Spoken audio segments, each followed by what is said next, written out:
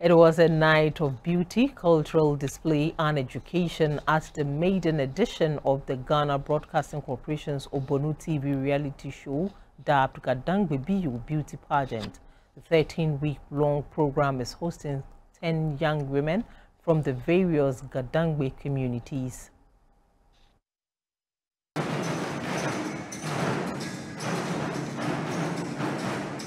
The Standard Height Hall in Accra was a converging point which attracted hundreds for a glimpse of traditional African beauty and cultural heritage of the 10 selected ladies for the Maiden Gadangme Beauty Pageant.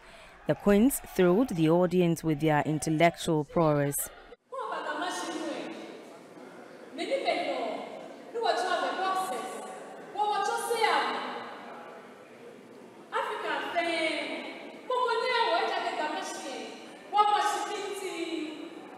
The idea behind the Gadangme Bi Yoo beauty pageant is to promote unity and strength of the Dangbe culture.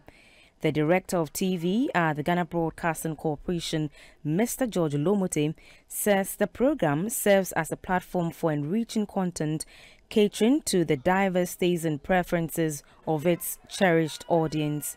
The channel manager at Obonu TV, Mr. Isaac Addington, spoke about the rationale behind the ongoing beauty pageant. What this pageant is doing also is that it's taking Obonu TV to the very doorstep of our target audience. Thereby, we are selling the Obonu TV brand positively. Apart from we testing them, of course, their beauty and their uh, eloquence when it comes to the Gadangme language.